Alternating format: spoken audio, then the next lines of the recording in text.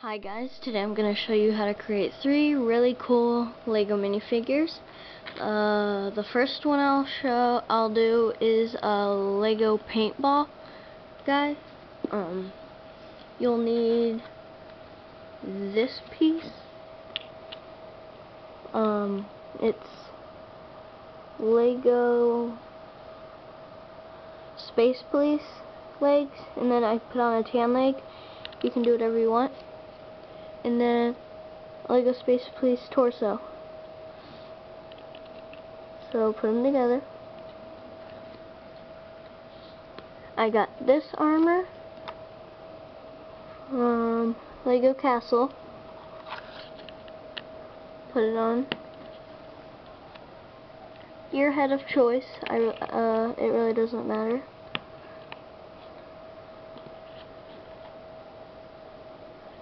And then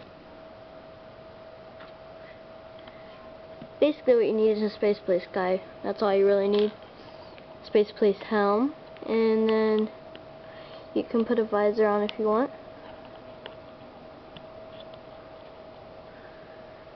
And then you can create your own paintball gun or get one off of Brick Arms or GI Brick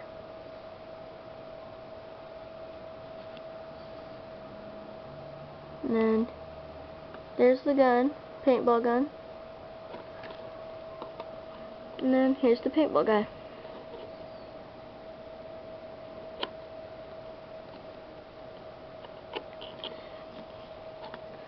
And then now I'll show you how to create a really cool German soldier or leader. You'll need black legs, this torso, or I'm sure you can find one, and then on just a normal head and hair, and there you go. And then for a gun, also you can get this off a of GI Brick, right here.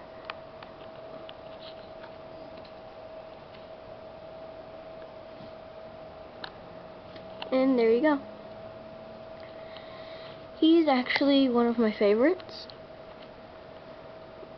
My friend traded me the torso, but yep. And then now I'll show you how to make a daredevil. You need, this is another piece from a Space Police set. It's Kranxx, I think is his name. He has an orange head and chain armored legs. Um, an old knight's torso. Put that on. That'll be a safety vest or whatever. And then the same neck ar armor as the paintball. So put that on. And you can use whatever head you want. But since this is just a video showing you how it's made, I'm just going to use a clear head.